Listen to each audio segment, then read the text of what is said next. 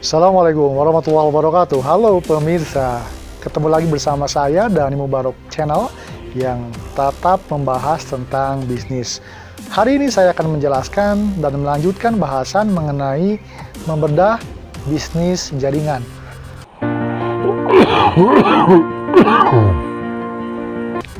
Baik, kawan-kawan, jadi beberapa hari yang lalu saya sudah membahas mengenai apa itu bisnis jaringan dan kemudian dilanjutkan dengan session pertama mengenai e, kekuatan perusahaan.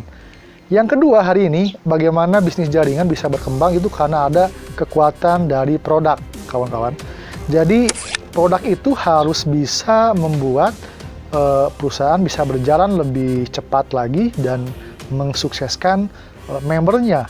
Yang pertama yang akan saya bahas adalah produk itu harus memiliki satu keunikan. Contohnya misalkan ada produk eco racing ya. Itu unik sekali karena kompetitornya tidak ada, hanya ada beberapa saja. Seperti NASA misalkan atau Octane Booster. Ya, eco racing adalah salah satu produk yang unik karena memang ini tidak dijual di pasaran secara bebas. Jadi hanya member dan perusahaan dari PT BES yang mengeluarkan produk ini. Pertama unik.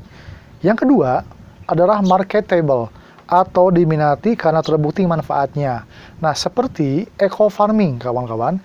Perusahaan eh, PT BES mengeluarkan produk eco farming adalah sebuah pupuk yang digunakan untuk para petani.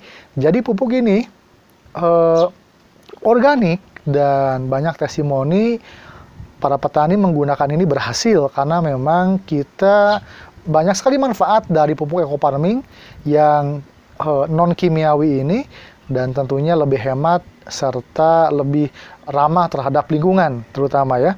Yang ketiga, profitable. Jadi profitable itu memberikan keuntungan besar jika dijual. Nah, betul sekali. Jadi produk dari PT BES ini ketika dijual maka akan menghasilkan keuntungan da lebih dari 40%. Nah, keuntungan ini selain untuk perusahaan juga dikembalikan kepada member. Makanya ada istilahnya bonus. Nah, bonus itu sebetulnya dari keuntungan pembelian produk. Nah, seperti itu ya. Kemudian ada low price atau harganya rendah produk-produk yang harganya tinggi tidak terjangkau itu akan menyulitkan orang membelinya. Di antara produk PTBS ini memang kategorinya uh, murah ya. Untuk eco racing saja hanya 5.000 satu pil, untuk eco farming saja hanya 250.000 untuk beberapa hektar lahan pertanian. Jadi kalau dikalkulasikan akan lebih murah dibanding dengan pupuk kimiawi ya. Kemudian ada table, memacu pembelian berulang. Nah, betul sekali. Jadi ketika petani kita menggunakan eco farming, maka eh, akan dibeli ulang karena memang eh, lahan itu membutuhkan pupuk berulang-ulang kali ya, tetapi tidak sesering yang kita bayangkan. Cukup beberapa bulan se semenjak masa tanam hingga ke panen itu uh, membeli pupuk eco farming hanya beberapa kali saja begitu. Kompetitor lain kompetitor produk lain tidak sekuat brand PT BES. Nah, betul. Jadi memang ada kompetitor dari perusahaan yang lain yang menjual uh, produk dari seperti Eco Racing, ya Octane Booster dan sebagainya, tapi tidak seterkenal dari Eco Racing. Eco Racing ini sempat viral dan sempat menjadi trending topik karena mengeluarkan banyak sekali member yang sukses. Ketujuh, banyak jenis produknya sehingga bisa memilih. Nah, betul sekali nanti kita akan bahas beberapa produk yang dikeluarkan oleh PT BES. Baik, yang pertama, yang produk sempat viral dan menjadi trending topik yaitu Eco Racing. Ini adalah sebuah uh, zat aditif yang dicampurkan ke BBM atau bensin, per premium, pertalite, pertamax, dan solar yang memberikan efek-efek manfaat tertentu seperti meningkatkan oktan dan setan sitan. Setan. Sitan, oktan, sitan. Maaf pemirsa, meningkatkan oktan dan sitan. Yang kedua, membersihkan kerak dan melindungi mesin.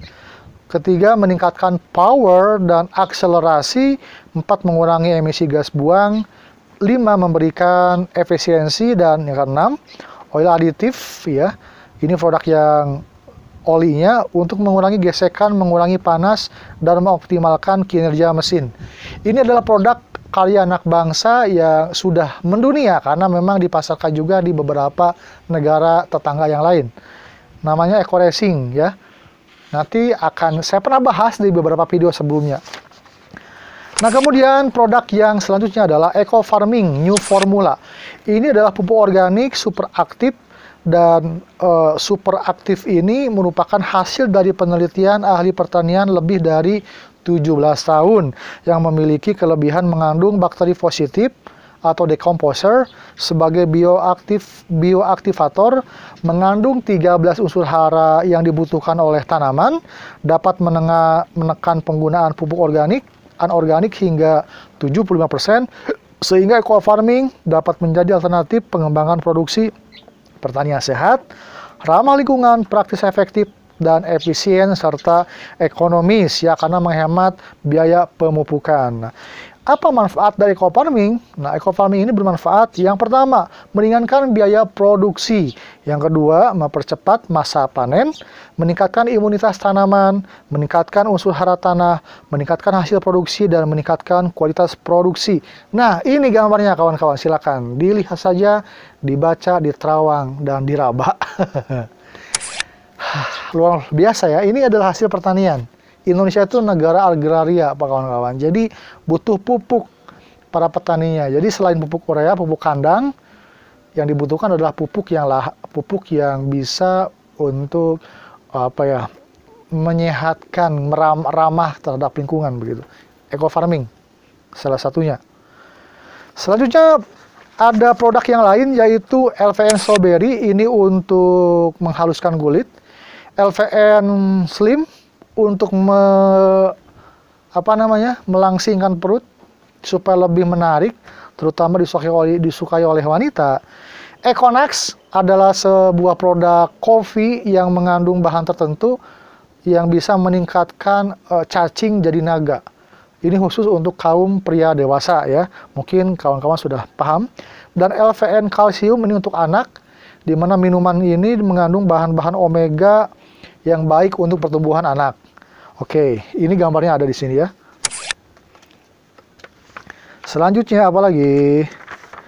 Nah ini produk kecantikan, ada LVN Skincare, ada produk kesehatan Hubs Pro, ada Evit Go, Evit Go susu kambing ya, bubuk dan LVN Lip Cream, ada buat lipstick. Ini semua cocok bagi uh, wanita ibu-ibu yang mem yang menjadi member, jadi bisa memasakkan produk ini ya. Kemudian ada LVM Collagen, ini masih ke kecantikan juga. Sabun wajah dengan kandungan kolagen. Ada LVN Propolis, ini sabun untuk mencerahkan kulit. Ada LVN Honey, juga sabun dari madu dan ada Hands Moist Spray Gel. Ini adalah membunuh bakteri ya untuk kulit juga.